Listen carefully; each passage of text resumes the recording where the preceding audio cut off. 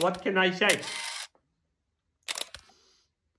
My dream as a young boy was to be the team principal of a talented F1 team. But unfortunately, I ended up at Haas. I want to thank Jane for everything he's given me over the years. He's given me everything. Except money, time, a good car, good infrastructure, acceptable wage, a pension, and encouragement. I hope they remember that I was always willing to do anything to succeed. Even to go as far as to fuck the entire paddock. Which I'm still willing to do. Uh, we had some amazing times at Haas. But for the most part, we look like a bunch of fucking vankers.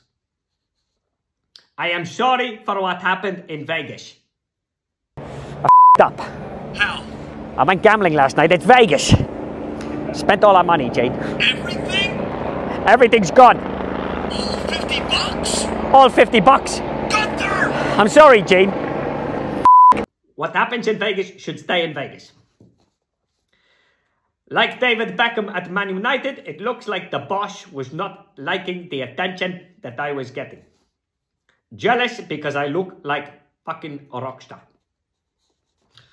Jane informed me that he was not renewing my contract, and I've accepted his decision with grace and humility. I would like to say to Jane publicly, to go f yourself. You f***ing piece of shit. You f***ing clue what you piece of